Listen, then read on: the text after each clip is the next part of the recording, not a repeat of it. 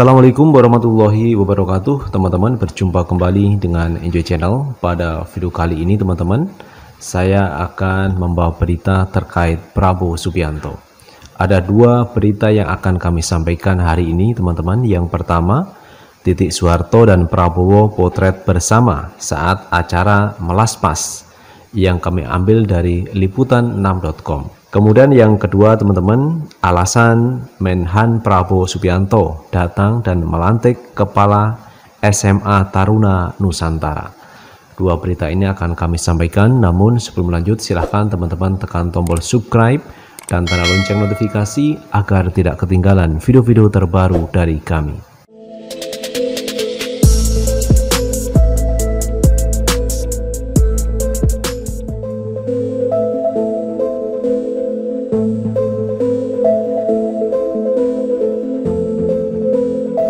Titik Soeharto dan Prabowo potret bersama saat acara Melaspas yang kami ambil dari liputan6.com.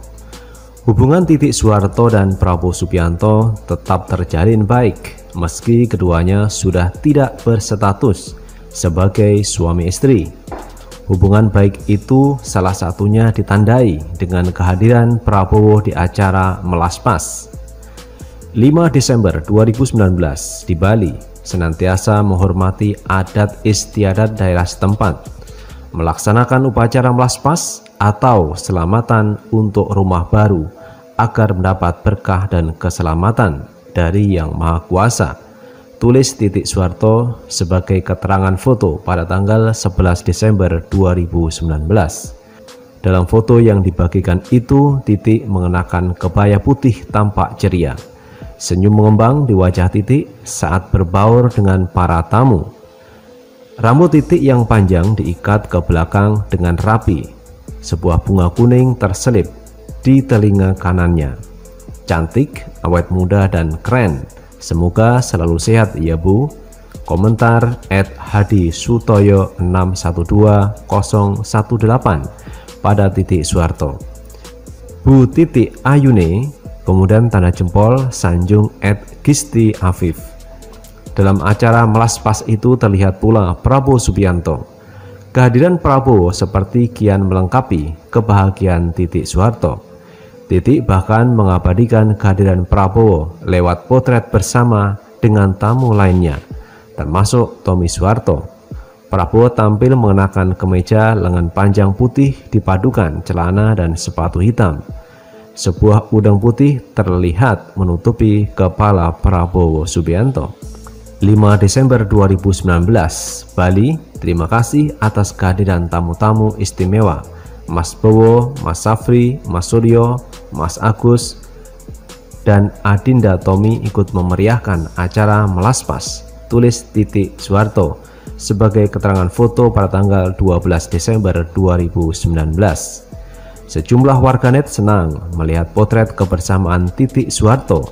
Mereka mendoakan keduanya selalu sehat. Masya Allah senangnya pagi-pagi udah lihat Mai Menhan Ma Bu Titik. Semoga sehat selalu. Amin. Tulis at Ninani Nana 212. Itulah teman-teman kebersamaan antara Prabowo Subianto dan Titik Soeharto. Mudah-mudahan ini awal keduanya untuk rujuk kembali membangun sebuah rumah tangga yang harmonis. Kemudian teman-teman berita yang kedua alasan Menhan Prabowo datang lantik Kepala SMA Taruna Nusantara yang kami ambil dari detiknews.com. Menteri Pertahanan Menhan Prabowo Subianto datang ke Magelang untuk melantik Kepala SMA Taruna Nusantara Prabowo merasa perlu untuk melantik Kepsek SMA Taruna Nusantara langsung di Magelang.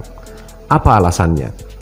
Hari ini, kalau saudara perhatikan, saya sebagai Menteri Pertahanan merasa perlu untuk datang dan melantik sendiri kepala sekolah yang baru. Mungkin ada yang merasa aneh di luar kebiasaan.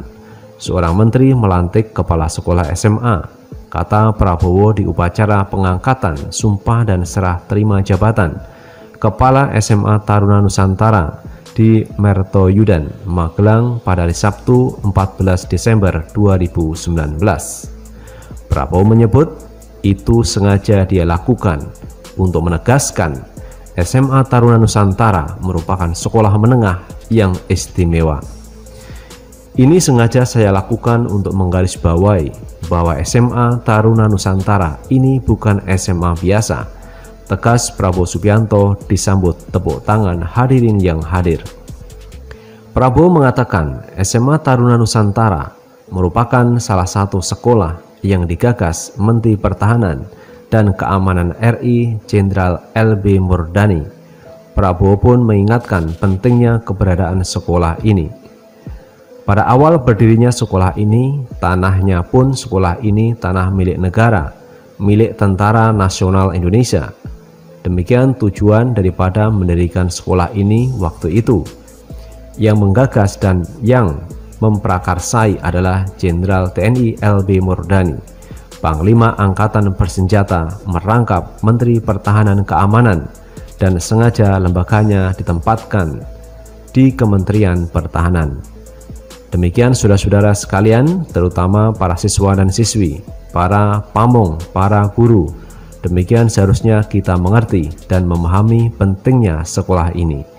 Beber Prabowo Subianto Kepala Sekolah SMA Taruna Nusantara yang baru dilantik hari ini yakni Maijen Purnawirawan Suartono Suratman yang menggantikan Brigjen Purnawirawan Subagio. Dalam sambutannya itu, Prabowo juga sempat mengenang masa mudanya saat berpangkat mayor.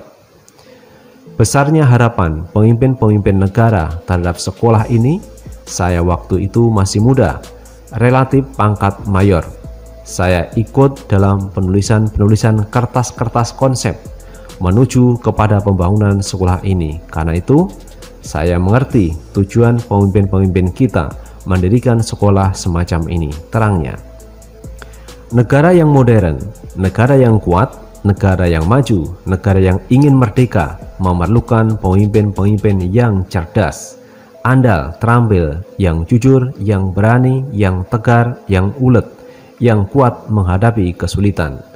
Lanjut Prabowo Subianto.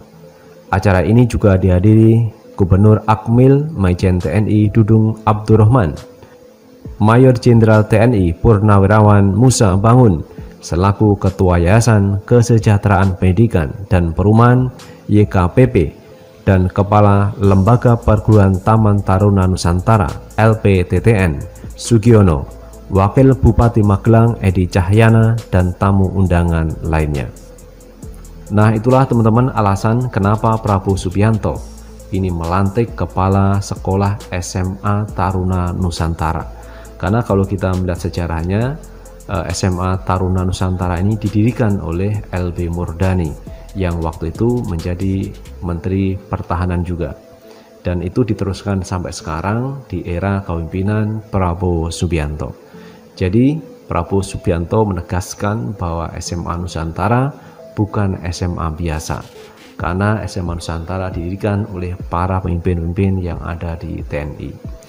Itulah teman-teman dua berita yang kami sampaikan hari ini terkait kebersamaan Prabowo Subianto dengan Ibu Titik Soeharto.